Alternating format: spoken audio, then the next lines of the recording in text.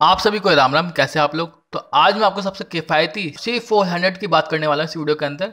इससे एक साल पहले मियामी के एन मोटो ने गोल्डन एज कॉन्सेप्ट पेश किया था, जिसने पूरी हलचल मचा दी थी। अब ये स्कूटर है प्रोडक्शन लेवल पे है।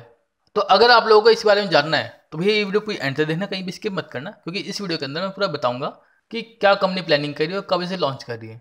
तो जो एन मोटो के सी हैं, इनके अकॉर्डिंग गोल्डन एज डिज़ाइन वापस आ गया है। स्कूटर का ये डिज़ाइन 1936 में कॉटनी ने बनाया था, जो कि काफ़ी पॉपुलर हैंडरसन का डिज़ाइन है।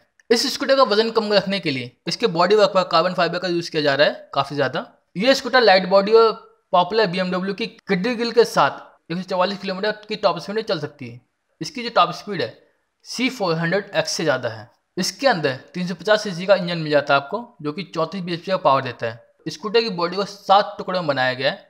एलेक्स कहते हैं कि इसमें पैंतीस डिग्री का एंगल दिया गया है। जो कि नई हार्ले स्पोर्टर एस से एक डिग्री ज़्यादा है। इसके साथ ही स्कूटर के अंदर नया फ्रंट और रियर सब फ्रेम, नए टर्न सिग्नल हाउसिंग और एक एग्जो सिस्टम रिलोकेशन किट भी दिया गया है। स्कूटर के अंदर ऑटोमेटिक कंट्रोल साढ़े छः इंच के डिस्प्ले के साथ ब्लूटूथ डैशबोर्ड और सीट के नीचे कैपेसिटी स्टोरेज दिया गया है। इसके अंदर एक सेंट्रल लॉकिंग सिस्टम भी दिया गया है, जिसे मेन इग्निशन के साथ जोड़ा गया है। अभी कंपनी इस स्कूटर के सिर्फ़ 100 यूनिट ही बनाएगी मतलब ऐसी ही प्लानिंग है कि सिर्फ़ इतने ही बनाए। बाकी रिस्पॉन्स देख के वो बनाएगी। इस स्कूटर के अंदर एक बैग की तरह सभी तरह के फीचर मिलते हैं आपको। इसके अंदर कस्टम अपहोल्स्ट्री एयर सस्पेंशन एक क्रोम लगेज रैक और एक एलईडी अंडर बॉडी लाइटिंग भी दी गई है। वहीं किट में rear view mirror handle light और टर्न सिग्नल भी दिए जा सकते हैं।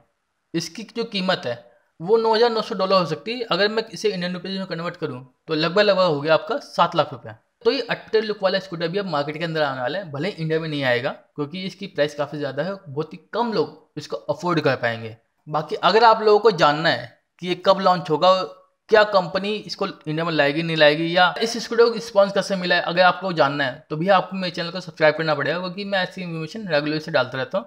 और अगर आप लोगों के मन में और भी कोई क्वेरी हो, या आपको कोई पर्टिकुलर वीडियो चाहिए, या कोई पर्टिकुलर इन्फॉर्मेशन चाहिए हो तो आप लोग मेरे को इंस्टाग्राम पर डीएम कर सकते हो। और अगर चाहो तो फॉलो भी कर लेना। बाकी इस वीडियो से भी इतना अगर वीडियो अच्छी लगी, वीडियो लगी तो आपको पता ही करना लाइक शेयर में सब्सक्राइब तो मिलते हैं बाय बाय टेक केयर